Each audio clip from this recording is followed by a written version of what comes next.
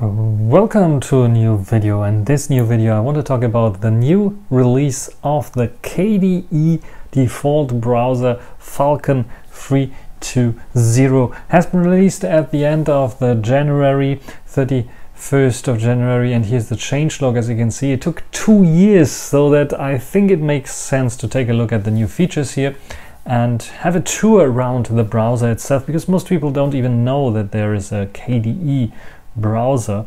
They only know maybe about Konqueror and Rekonq, uh, those uh, projects that are not really actively developed anymore. But Falkon is actively developed and has yeah, released a new version with several new changes.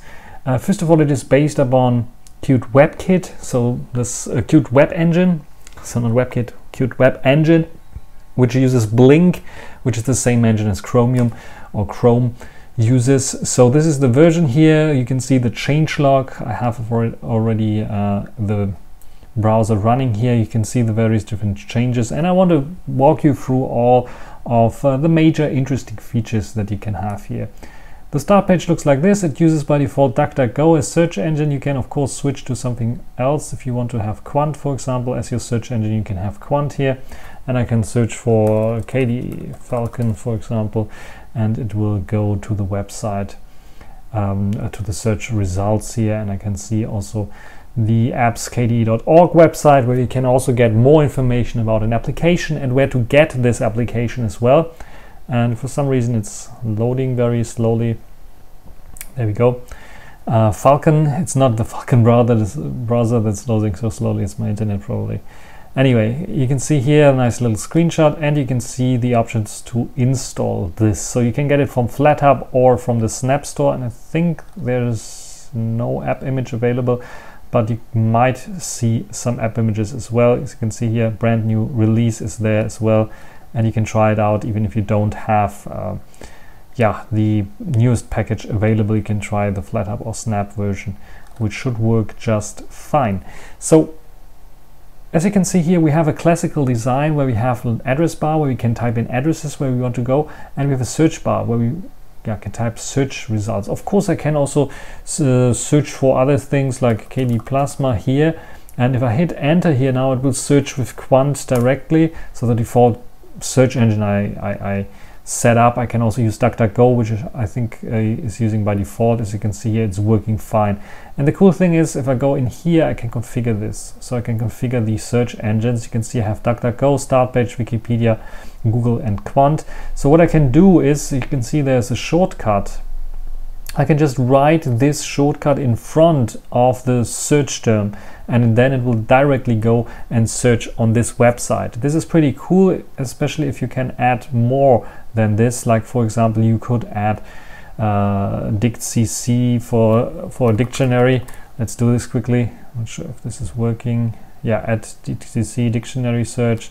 I can add it and it has been added successfully and now I have dict.cc here and I can say okay I want dict.cc I want to have a, shortcut for this so I click on edit say shortcut should be dict and uh, I click OK I click OK and now what I can do is uh, let me just go to kde.org to show you that this is really working is type in dict and then the word that I want to translate like for example football and it will start directly going onto the website and searching for the term football, which is pretty cool and awesome. So you have the possibility to do such things. If I want to search something on Google, I know that it, it's not on DuckDuckGo or something else. I can type in G here and then the search term that I want to have, uh, like for example, uh, Neptune OS distribution that I'm using, because I get so many questions about people uh, what kind of distribution I'm using.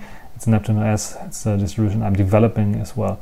So that's for this. What you can also see is like Google doesn't show any advertisements. This is because I have an ad blocker available. Ad block is available here. It's added, uh, activated, and I can show the ad block settings and I can configure this. Easy List German is here currently in there. I have custom rules set up. If I want to, I can go to options and say I want to add subscriptions, remove subscriptions. If I click on add, I can say, okay, I want to add subscriptions to another list of ad blocking uh, that is available here and give it a title even if I want to.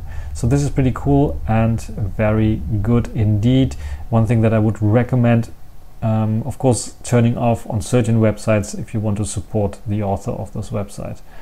Then there are some tools here as well. As you can see here, I can configure the toolbar. If I want to have a menu bar, uh, which looks like then more like uh, the old uh, Firefox uh, days where I have a menu bar here, but I can also say, okay, I don't want the menu bar, then it will appear here.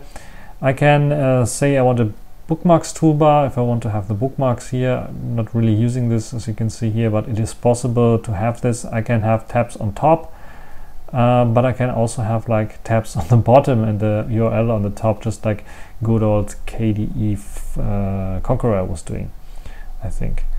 So this is possible and uh, sidebar is possible to have bookmarks. If I want to have bookmarks, you can see I'm using some bookmarks here. Or I can also have the history there instead. So this is also possible. Uh, the tabs on the side is not possible for people who are asking. At least I don't see it here. I can go to downloads to see my downloads, which is just like a normal download manager. And I have the option to configure the toolbar and edit this here. What is cool about Falkon is they have many different settings here. They have the private window option, they have the option to open files, they have a session management and session switcher so I can um, directly oops, go to the session manager and create a new session or switch to another session. So if you have like for example a work session or you have like a private session with searching for new stuff for your bathroom or other things and you have various different tabs open you don't want to lose them you can save it as a session here and uh, then go to your work session again where you have all your github and code uh, reviews also on uh, which is pretty cool and handy. You can do so and uh, easily just choose and then switch to and it switches to this session. Then we have the option to send a link, which is sometimes very useful. If you find a nice, interesting link, you want to send it to some uh, people, you can click on send link and it will open up. Uh, usually, it will open up the mail to uh, email program. In this case, it's not working for some reason, um, but it should work then. Then we have the printing option, which allows us to print, which just calls our normal printing dialog here, no other options available. Select all and find options. So if you're searching something on the website is possible. Show all history organized in bookmarks, which opens up in Bookmark Manager, where you also have the option to import bookmarks as from uh, Mozilla Firefox, Chrome, uh, Opera, or an HTML file, uh, which you can export from various different browsers. And uh, then we have, of course, the viewing options. Uh, here you can see we have some other viewing options like reloading option, uh, resetting the zoom or zoom in. The page characteristics encoding, character encoding can be changed here. You can view the page sources if you want to, which is available here as well. And we have also uh, the option to go into full screen mode. History, you can search your history if you want to, most visited, closed tabs, closed windows, everything possible here. Tools, there's a web search available as well, or just like this here basically only. And there's a site info available, which gives you information about the website, just like for example, general information, security information, encryption, media that is on the website can be found on the website. You can download some media here. Uh, also pretty straightforward, I would say and uh, then there is also the web inspector which is basically the same thing that you can see on the Google Chrome or Chromium browsers where you can have inspect stuff and develop uh, the website the way you want. So this is also possible here under tools. Web inspector control shift and I uh, is the key combination. Clear recent history and the help is available. Let's go into preferences, check out some stuff here. We have uh, one setting that is very useful for me, restore session, which I usually do is uh, restore my last session. I can set a home page and I have the uh, speed dial if you open up a new tab. Let's open up a new tab and you can see speed dials with like the website that I websites I visited most often here listing up. This is not what I wanted. Uh, let me go to the settings again. There we go. And uh, we have uh, the option for the profiles to set uh, different profiles. If we want to we can create new profiles um, that is also possible from here. We have the appearance where we can say okay we don't want to have it looking like Linux. We want to have it looking like Mac. Click apply. And you can see uh, this is now Chrome so it looks more like Chrome. This is the theming that you have here. Or theme can have Mac theme as well which looks like this. More classic kind of Mac I would say. Uh, you have a Windows look if you like and prefer this one which is uh, yeah reminds me a bit of Opera I have to say. And we have the Linux uh, look uh, which I like the most of course. And we have get more themes and this will bring us here where we have some other themes. As you can see only uh, two themes available an example theme and the tech face theme. So maybe someone needs to work a little bit of theming support here as well. Otherwise we have uh, some advanced options where we can show also or set the stuff like sh show always the bookmarks on on start. We have some tabs options, tabs behavior, hide tabs when there's only one tab. For example, activate last tab when closing active tab, which is pretty interesting, and open new tabs after this active tab. Uh, and some other tab management that you can do here, which is pretty cool.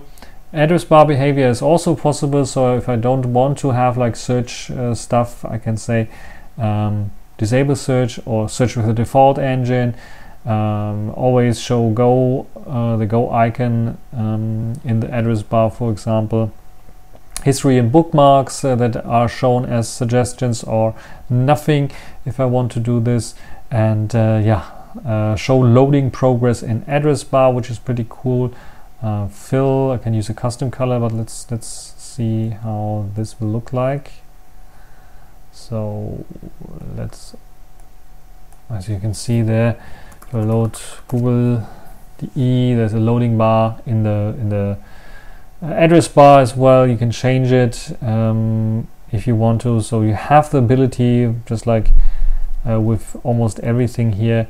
Uh, use a custom color, for example, this blue one, and uh, let's click OK here again and load uh, kd.org and you can see it's now a blue loading bar here in the address bar. So you can set it up. I think some browsers are using using this as well. You can set it up the way you like it. Then we have some browsing options as well with configurations. We can use the uh, Pepper plugin if you want to PPP uh, if you still have something that uses this uh, use the built-in PDF viewer requires PPP so if you want to use um, view PDFs in the built-in viewer so let's search for PDF test and uh, let's go out of here. Uh, so we have like a testing PDF here. If I click on this, you can see it's opening up a dialog that allows me to save or open the file. Uh, but if I go to my preferences, by the way, also good that it always remembers the last entry that I was on. I can say use built-in PDF viewer, apply, and OK and now I press on the PDF and now it's using the internal viewer as you can see here like other browsers are using this. So you have this option as configurable option and this I think PDF viewer is also something mentioned here. Let's search for PDF there we have it. Option for internal PDF uh, PDFium based viewer is available here which is the one that I'm using here. So we have some other preferences as well, like we can disable JavaScript, we have enable XSS auditing, include links in focus chain when we want to switch focus with our tab key, print element background, animated scrolling, which makes the scrolling a bit more fluid, and use native scroll bars. Um, yeah, you can use the native scroll bars instead of the, the, the browser one. I like to use the browser one because sometimes the web pages try to override the scroll bar and it lo doesn't look good.